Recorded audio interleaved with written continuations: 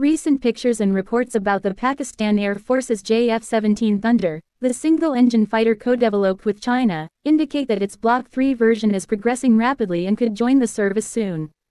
A photo of a pilot wearing an advanced helmet-mounted display, claimed to be from inside a JF-17C or Block 3, went around on social media. Also, another report about the jet being further upgraded. Also interested observers reported to share some of the technology from China's J-20 Mighty Dragon stealth fighter.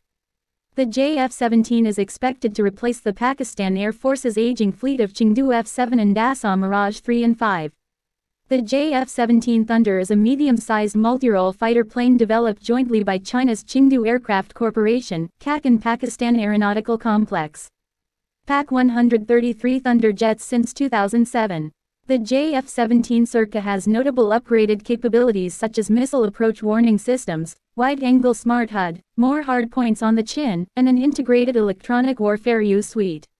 The aircraft is equipped with KLJ-7, a airborne active electronically scanned arrays of fire control radar. There were previous reports that the JF-17 is poised to get some of the technology, avionics and electronics used on the J-20, but it remained unconfirmed until now. While the extent of the overlapping technology the JF-17C might share with the J-20 is unclear, reports and photographs indicate the claims were not entirely false. The new jets boast improved high off-bore sight capability, the aircraft can fire from whatever position, and its missiles will adjust thrust speed and trajectory to hit targets. A photo of a pilot inside the cockpit of a JF-17 Block 3 or JF-17C wearing a helmet-mounted display similar to the ones J-20 pilots have been shown wearing in leaked images and official pictures and videos. All vital flight information that is usually shown on the screens and displayed directly on the visor in the cockpit. This reduces the stress of flying and allows the pilot to focus more on the combat component of the mission. It is also one of the major systems a plane must possess to be counted in the Generation 4 Plus category. Many social media discussion forums have claimed increased use of carbon fiber composites in the newer variants, which reduces the aircraft's weight.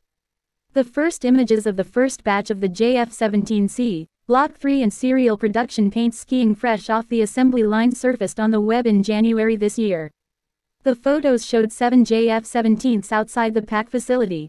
In Kamra, the JF-17C, Block 3 is thought to have taken to the skies for the first time in December 2019.